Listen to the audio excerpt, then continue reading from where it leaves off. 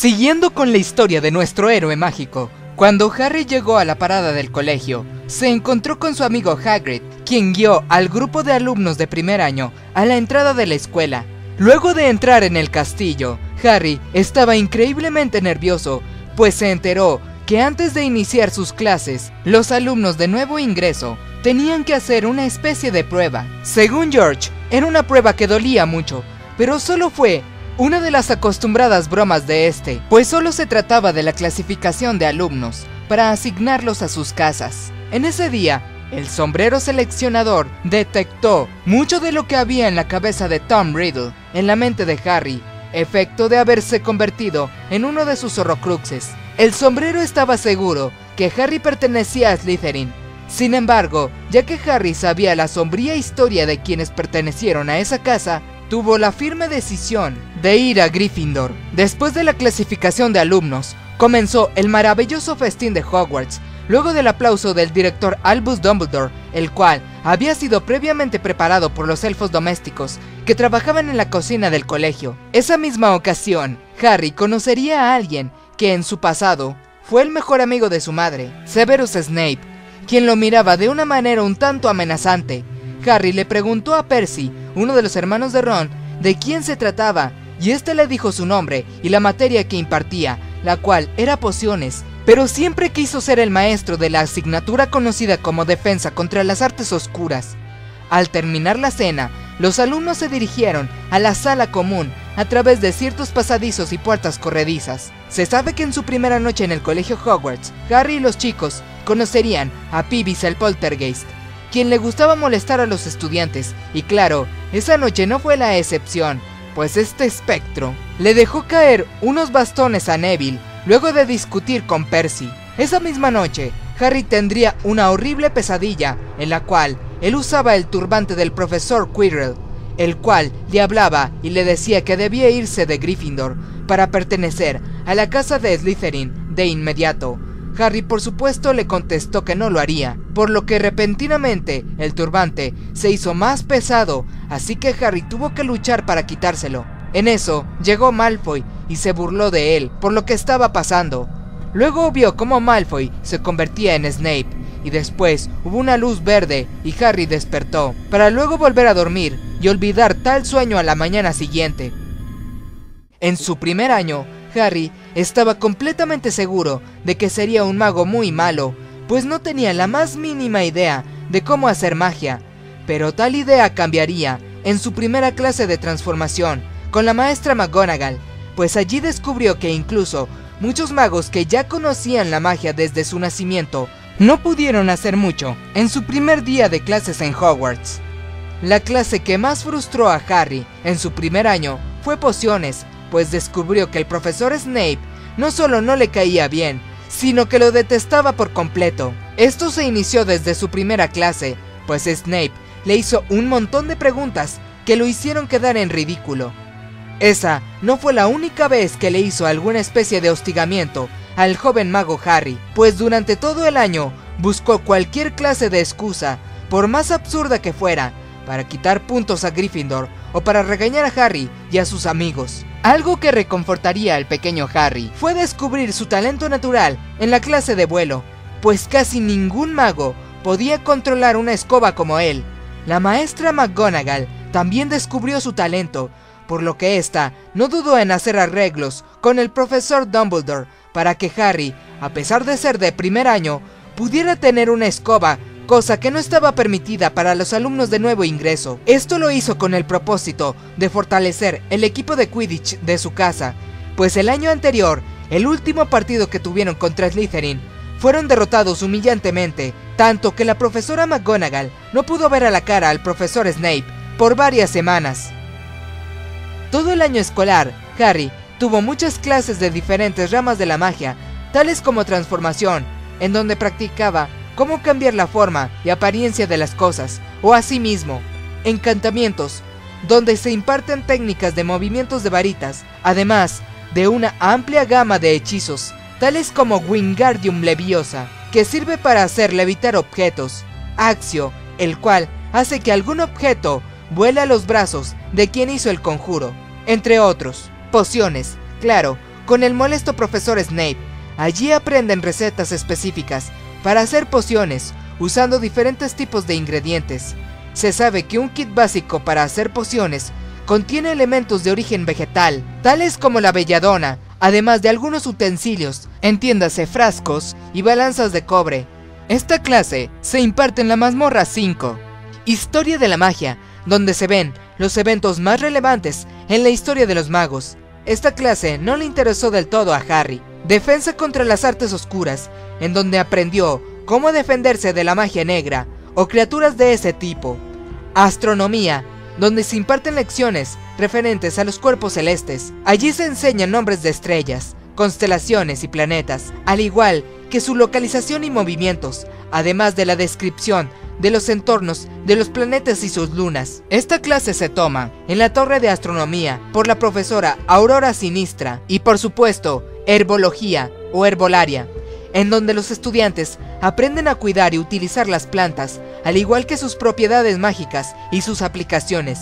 Naturalmente, gran variedad de plantas proporcionan ingredientes para pociones y medicinas. Esta clase se toma en los invernaderos del colegio y es impartida por la profesora Pomona Sprout. Harry tenía todas esas clases todo el año y cada día disfrutaba cada vez más de cada materia, claro con la excepción de la clase de pociones. En una ocasión, Hagrid invitó a Harry a tomar el té. Dicha tarde, Harry y Ron descubrieron que el banco Gringotts había sido irrumpido y el ladrón intentó robar la cámara 713. Sin embargo, tal cámara había sido vaciada por Hagrid y Harry tiempo atrás. Luego de dos semanas de clase, Harry y Malfoy acordaron tener un duelo en la sala de trofeos, a pesar de que Hermione intentó evitarlo. Al llegar la hora acordada, Harry se presentó en el lugar junto con Ron y Neville. Sin que ellos lo supieran, los acompañó Hermione Granger, quien los seguía sigilosamente, con el fin de evitar que rompieran las reglas. Desafortunadamente para este grupo, resultó que Malfoy solo los había engañado, ya que Filch llegó en su lugar, junto con su gata la señora Norris. Los chicos escaparon en cuanto pudieron, sin embargo, y por accidente, llegaron al corredor prohibido del tercer piso, donde se encontrarían a Fluffy, el perro de tres cabezas de Hagrid. Ellos lograrían escapar del enorme cancerbero.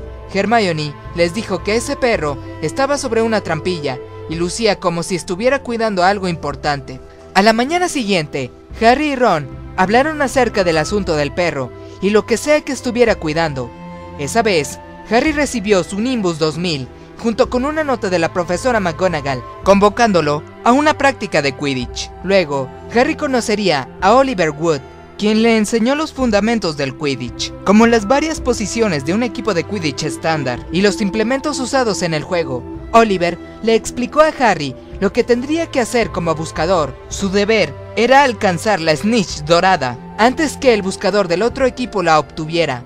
En el Quidditch, cada partido termina al atrapar la snitch. Esto convierte al buscador en el jugador más importante de cada equipo. En la noche de brujas de ese año, el profesor Flitwick les enseñó el encantamiento Wingardium Leviosa y solo Hermione lo hizo con éxito.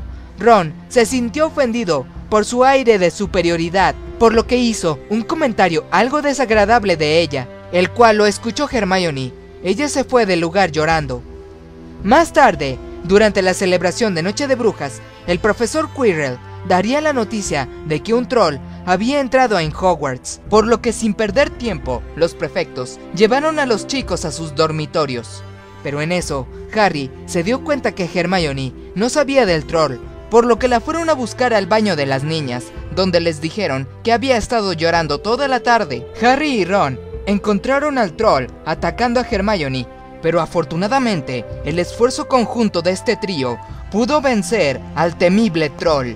Este acontecimiento hizo que la amistad de estos tres chicos se fortaleciera. En noviembre comenzó la temporada de Quidditch en el colegio y para que Harry se preparara, leyó un libro de Hermione llamado Quidditch a través de los tiempos. Esa vez, Snape lo vio y le confiscó el libro con el pretexto de que los libros de la biblioteca no se deben ver fuera de la escuela. Harry notó que Snape estaba cojeando ese día.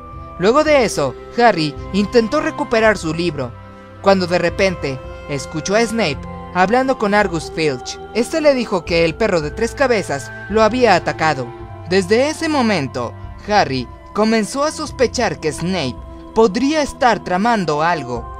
Luego Harry se presentaría en su partido de Quidditch, en el cual Gryffindor se enfrentaría a Slytherin. Durante el partido, la escoba de Harry perdió el control, lo que hizo que se moviera salvajemente. Según Hagrid, tal cosa pasaba por magia negra. Los gemelos Weasley intentaron ayudar a Harry en el aire, mientras que Hermione, quien se había dado cuenta que Snape no dejaba de ver a Harry mientras parecía murmurar, dándole la idea de que él era el que estaba tratando de embrujar la escoba de Harry, se encargaba de romper su concentración, quemando su ropa. Al instante, Harry recuperó el control de su escoba y ganó el partido, alcanzando la snitch dorada. Más tarde, el trío estrella de Hogwarts fue con Hagrid, a quien le dijo que Snape había tratado de matar a Harry durante el juego de Quidditch. Hagrid no les creyó, pues él no podía concebir la idea de que Snape quisiera dañar a Harry, pero igual les preguntó por qué creían eso.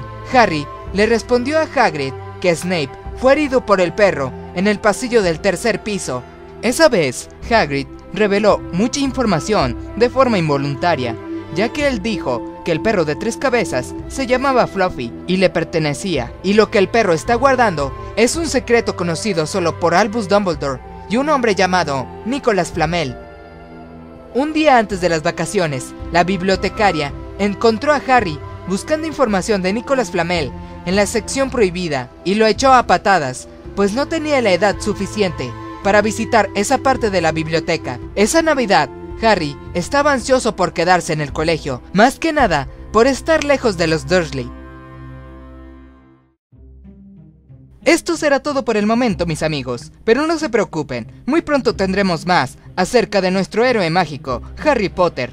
Antes de despedirme, le mando saludos a Kimberly Juaraki Lesama, Secretos DJ, Joselandia, Ángel Eligio Fernández Berlanga, quien cumplirá años el 2 de junio. Muchas felicidades Ángel. Juan Hidalgo, quien cumplió años el 27 de diciembre. Muchas felicidades Juan. Cecilia Hidalgo Brito y a sus hermanas Estefanía y Catalina, quienes nos ven desde Chile y quienes cumplieron años el 25 de mayo. Muchas felicidades Estefanía y Catalina. Ignacio Verango, quien nos ve desde Argentina. Enrique Hernández Serrano, quien nos ve desde Madrid, España. Leonardo Espinosa, Sacons, quien cumplió años el 2 de mayo. Muchas felicidades, Sacons. Diana Sanzara, Ronald García, Germayoni 13, quien nos ve desde Ecuador. Miguel Icano, Belu Brum, Emanuel E.S., quien cumplirá años el 21 de junio. Muchas felicidades, Emanuel. Mateo, Kevin Evans Colbain, Aaron Cuevas, Eric López, Churi García, El Gog Fan Rubius, Alejandro Romo, quien nos ve desde la Ciudad de México, José Ángel Mireles Gallegos y Agaster. Muchas gracias por todo su apoyo amigos y sigamos juntos explorando la fantasía hasta el final de nuestros días. Si este video fue de tu agrado, te agradecería que le dieras me gusta y lo compartieras con tus amigos. Muchas gracias.